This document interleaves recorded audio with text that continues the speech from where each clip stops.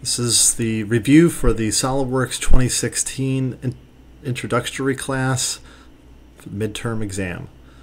To find the midterm exam, just go to vertanux1.com, go to the exams, and pull up the SOLIDWORKS Basics midterm.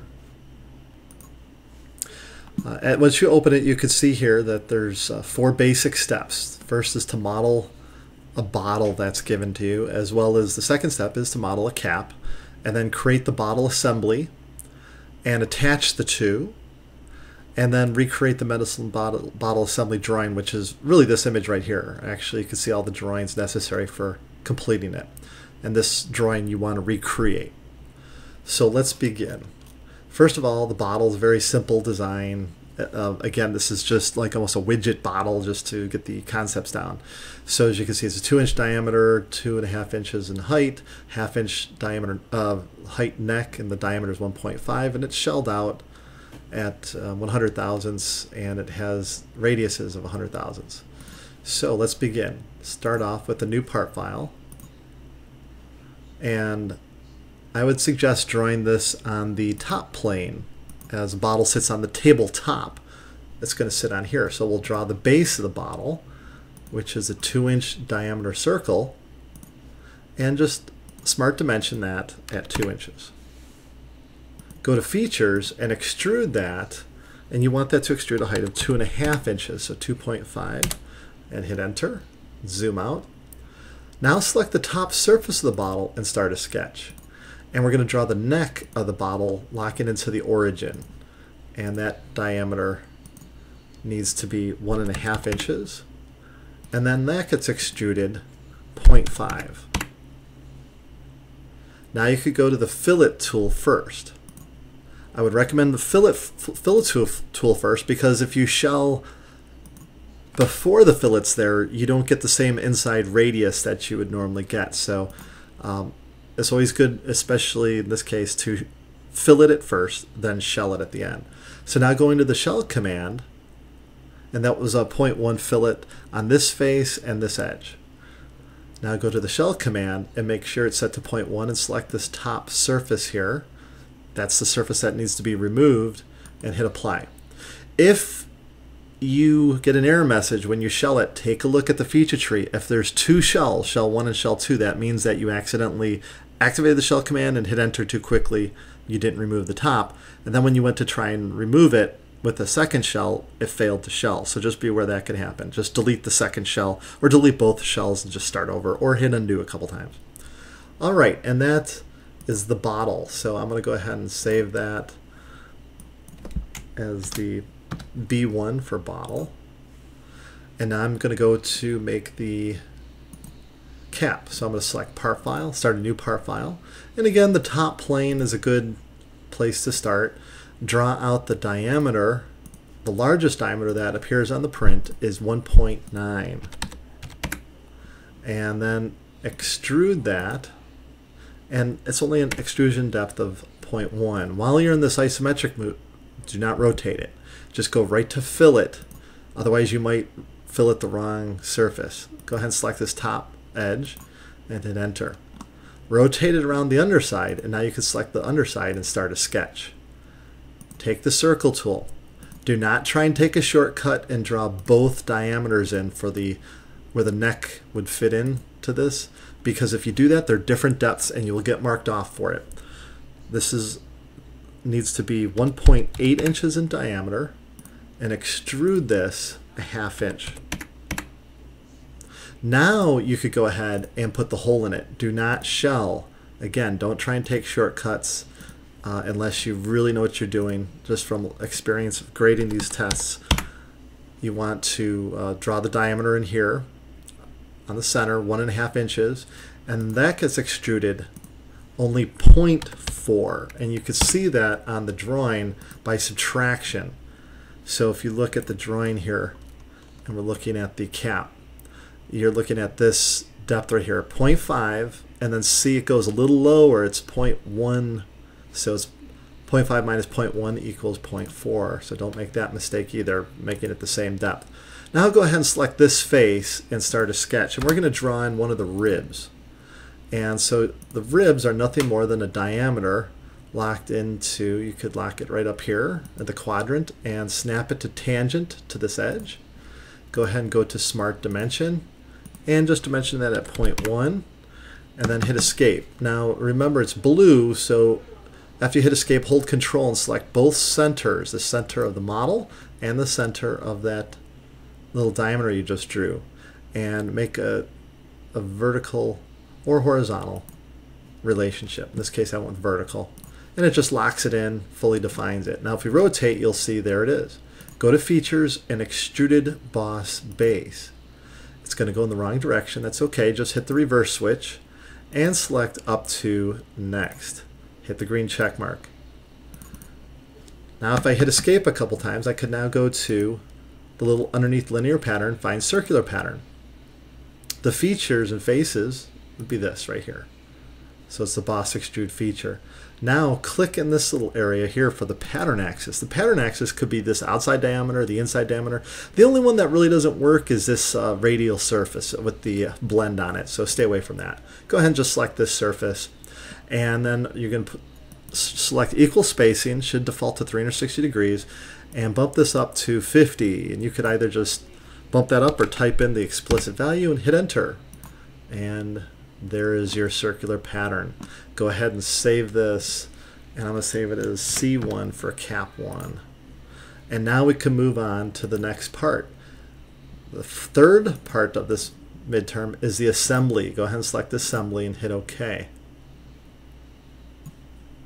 And you'll see the B1 for the bottle and the C1 for the cap. Let's drop the bottle in first. Hit the select B1. And if you just hit the green check mark, it will drop the bottle into the origin in the center of the assembly, which is perfect. That's It's going to work great if you do that. Now you could go to Insert Components up here and select the C1, which is the cap. Drop, zoom out and drop the cap way up above. If you drop it down here, sometimes when you start adding mates, it ends up in the bottle, and it, I've seen students go through a panic attack during the midterm, and they don't realize it's just inside the bottle. You just have to pull it out. You could grab it and drag it out if you want to. But anyhow, um, let's go to the mate tool, the paperclip that's up here, and select this surface here, and then this surface right here. And it will align, hit the green check mark. Now do not select this surface. If you select that surface, it will intersect and contact surfaces. You'll get marked off significantly for that. You want the underside inside the cap. And then select the top of the neck of the bottle and hit the green check mark. Now you need to explode it, so use the exploded view, click on the cap, and use the manipulator handles to drag it. So the Y direction will drag it up, and you could drag it up about two inches just so it clears the bottle. Okay, hit the green check and now to collapse it, and I would recommend you collapse it, right click on the top of the feature tree and you'll find collapse. Notice there is an animate collapse. We don't need that right now. That's fancy stuff, but we will get to that later in other classes. Okay, now at this point, just make sure you save the assembly and we'll call A1 for the assembly. Now go to File and you'll find Make Drawing from Assembly. If this is not checked, go ahead and check it or uncheck it to make sure you get the ANSI standard templates. You need to be in the A ANSI landscape. Hit OK. You'll see on the right hand side your view palette should have appeared. If not, hit this little button. It might be truncated to the right. Grab your front view, drag it in. Move your pointer up top and it will automatically unfold a top view. If you drag it down, it'll unfold the bottom view. Actually, we wanted the bottom view, so click on the bottom. Now hit, uh, hit escape. To delete a view, you just select the border of whichever view you don't want and hit delete on your keyboard. Now you could go ahead and drag this up. Let's move it up a little bit higher. Okay, now we're going to go ahead and bring in another view. Hit this little tab here and find the isometric exploded. If the isometric exploded is not there, that most likely indicates that you never exploded it. So just be aware you, and, and you cannot explode it here. You actually have to go back to, you could go up here to the window and find the A1, which was the assembly, go back in there, explode it, save it, come back here, and it should appear then inside there. After you hit, uh, you might have to hit the regenerate button up here, or refresh, and then it'll appear. Okay, now we want to transform these to um, something a little bit uh, less defined, like these object lines are just too thickened. And so I'm just going to control select the four view borders and then right click and you'll find tangent edge and select with font because that's how it is on the print. If it doesn't match the print, you get marked off for it. Okay, now in this case, um, we want to go ahead and bring in a center mark. So go ahead and select center mark, click on the outer edge, and you should see a center mark appear on the bottom of the bottle. Let's make a section view. Go to view layout, go to section view, and you'll see here mine is a horizontal right now, but change it to vertical and snap it to center, click, hit the green check, and auto hatching should be turned on. Otherwise, the hatch pattern will match for both the bottle and cap. And you'll get marked off for it. So make sure auto hatching, hit OK, and drag it to the right. If your arrows appear differently, like if they don't seem like the arrows are pointing out and they're pointing into the thing, there could be two things. You could double click on this to reverse it, hit rebuild when you're done, or you're you might be in the ISO standard versus the ANSI standard, and that's in the tools options, document properties, and make sure it's set to the ANSI standard.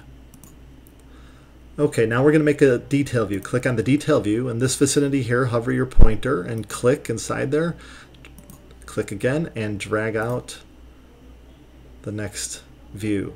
You can see in this case it needs to match the print. In order to match the print you need to go over here select per standard. Instead of per standard go with leader and drag the leader out. Now we're ready to actually add the balloons and the bill of materials. So that's under annotate. Go to, uh, select this view, just click on the border go to tables and you'll see either Excel based bill materials or bill materials. It's a good idea just from experience. Save right now before you do this. Sometimes the bill of materials, I've seen it crash in the past. Not saying it's going to do it now, but it's um, not a bad idea just to save, just in the event that something happens. Especially Excel based because it's transitioning between Windows, um, Excel, I should say Microsoft Excel to SOLIDWORKS, which is integrated, and it could cause some issues some, from time to time, but usually you're in good shape. Go ahead and just select Bill of Materials for this one. I use the standard BOM, hit the green check mark, and just drop it up top left. Now we could go ahead and add the details on here, uh, the balloons. So go to Auto Balloon, or you could manually do it. I'll just manually do it. Select an edge, click to drop it, select an edge, click to drop it if you drop a balloon on the actual, like you can move these points, ANSI standard dictates it turns to a dot. So that's perfectly fine if you want to have it on it. Just I don't want to see this type of stuff. Sloppy drawings get marked off. Okay, now make sure you have your name. Go to the note tool and in this little region here, click and type in your name full name preferred. Do not put your initials in. And at that point, you could just verify that all everything matches up with the print that is provided in the test, which probably needs to be updated a little bit. One thing um, I know on the print, it actually shows it in first angle versus third angle, so it's flipped a little bit, but for the most part, it should look like this. And also in this region, if you get a little crossover, that's perfectly okay. It just means that you rotated the cap a little differently than I did when you inserted it. And that concludes the test. Just go to File and print out a copy of it.